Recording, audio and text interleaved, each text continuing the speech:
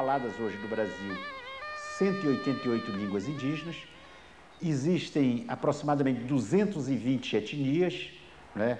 É, é, algumas das quais é, já perderam a língua, e nós temos uma população entre índios é, aldeados e índios urbanos de 550 mil aproximadamente, porque existem quase 200 mil índios, é, é, são 180 a 200 mil índios, é o cálculo, índios urbanos. Né? Só uma cidade como Manaus, por exemplo, Manaus é uma cidade com 1 milhão e 800 mil habitantes, dos quais 20 mil são índios.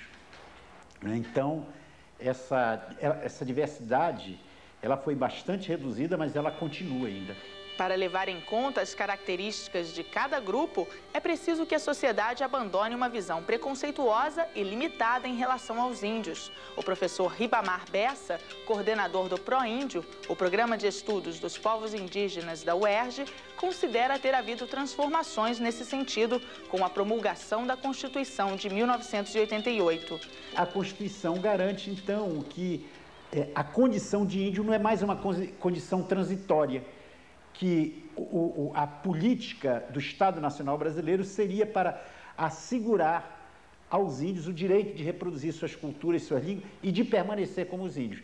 E aí é que se cria, então, uma nova escola, que é a escola bilíngue, intercultural, específica e diferenciada. Hoje existem 2.200 escolas indígenas no Brasil, com material didático preparado de acordo com as línguas e as culturas desses povos. O português entra como segunda língua. Há professores índios e não índios. Da matemática aos livros de histórias, o objetivo é integrar diferentes saberes.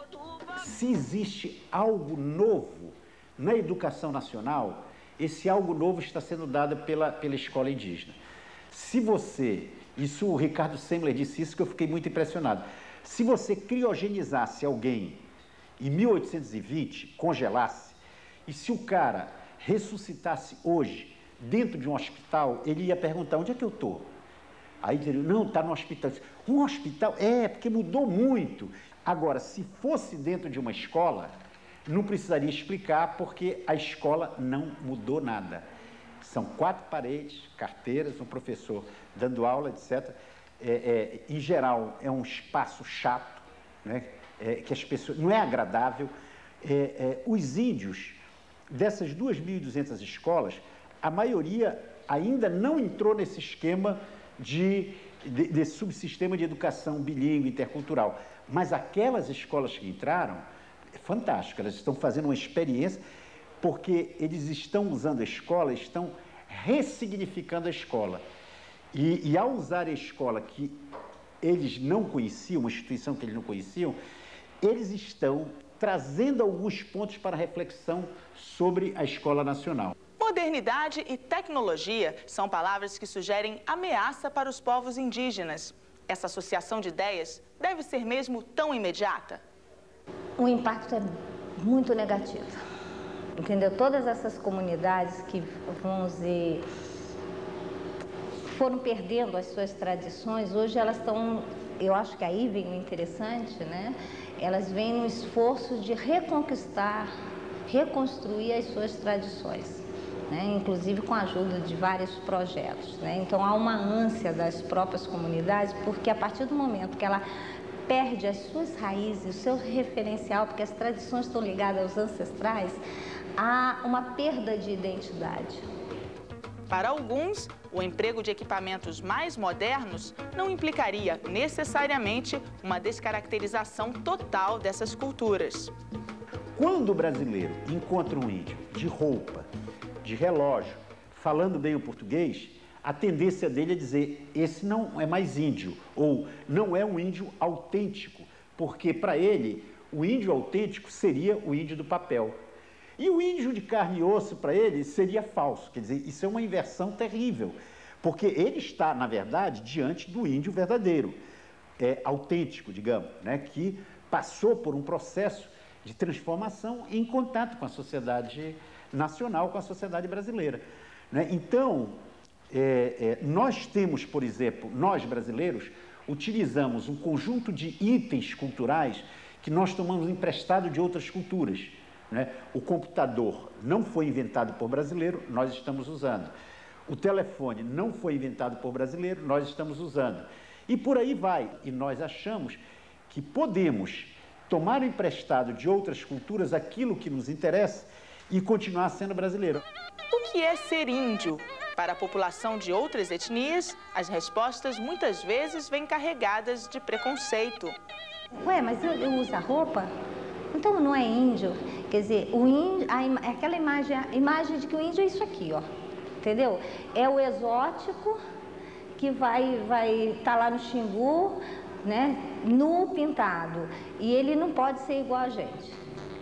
Os estereótipos foram construídos ao longo da história. O pior é que nem sempre se tem consciência disso. Esse preconceito nós não, não nos livramos até hoje. As pessoas associam ao índio a, a, pessoa desorganizada, a pessoa que não tem capacidade, não tem educação, né? Se fala em programa de índio, um programa sem estar estruturado, né? Ou, vamos dizer, bem conduzido. Os problemas da população indígena não ficam restritos a uma visão distorcida de sua imagem. Há questões bastante concretas. A morte de crianças por desnutrição em algumas regiões do país é um dos inúmeros males que atingem os primeiros habitantes do Brasil. As diferenças entre as taxas de mortalidade infantil da população não indígena e indígena são significativas. De praxe, né, os estudos que têm sido realizados mostram que esses, é, esses óbitos são muito, mais, muito maiores né, do que a população não indígena. Hoje, na população brasileira está em torno de 30 óbitos por mil nascidos vivos, 32, né? E a população indígena está 63, a média nacional. O número de mortes por desnutrição pode ser muito maior do que o registrado. A causa mortes, né, a causa básica, muitas vezes ela não é, é registrada de forma correta. Então, muitos óbitos, se, se, você pega o sistema de saúde indígena, né, o CIASE, é, eles registram muitos casos de óbito em crianças, e né, principalmente crianças, como DIP, que é doenças infecciosas parasitárias. Né? E, na verdade, se você for fazer toda uma investigação, você percebe que aquela criança, né, ela morreu de pneumonia, mas o que, que gerou a pneumonia? Pode ter sido uma desnutrição. Né? Algumas comunidades também já sofrem de doenças como a obesidade, eu acho que um outro elemento extremamente substantivo do no, que nosso grupo de pesquisa e outros grupos do Brasil também estão investigando diz respeito ao perfil das doenças, né, principalmente das doenças infecciosas e parasitárias e também das doenças crônicas não transmissíveis, como obesidade, diabetes, hipertensão que estão começando a surgir de uma maneira cada vez mais expressiva no cenário epidemiológico dos povos indígenas. A professora Silvia Gugelmin, do Instituto de Nutrição da UERJ, constatou a ocorrência de obesidade nos chavantes da comunidade de Sangradouro em pesquisa feita no final da década de 90. Para solucionar os problemas de saúde desses povos, ela defende a necessidade de se analisar cada grupo separadamente a gente tem que propor algo que contemple essas duas, né, esses dois lados da mesma moeda. Porque senão você acaba prejudicando um, né, ou até contribuindo para que um outro problema venha a, acontecer. Então, programas, né, programas de de alimentação, né, alimentação e nutrição, ele tem que ser pensado nessa diversidade. A gente não pode propor uma cesta de alimentos única e simplesmente de acordo com o nosso, né, as nossas hábitos alimentares, a nossa prática cotidiana. A gente tem que pensar nisso né, dentro desse grupo específico que a gente está propondo uma ação. Os indígenas provam que são mesmo guerreiros e continuam superando grandes obstáculos. Tanto dados do IBGE quanto diversas outras fontes de dados mostram de maneira muito clara que desde a década de 80 está havendo um processo de crescimento populacional extremamente substantivo né, dos povos indígenas, revertendo uma, uma, uma situação no passado que era muito complicada de decréscimo populacional e inclusive com a possibilidade de extinção biológica e cultural. Né? O que a gente vê é, no período mais recente é realmente um crescimento dos povos indígenas, que é algo extremamente significativo.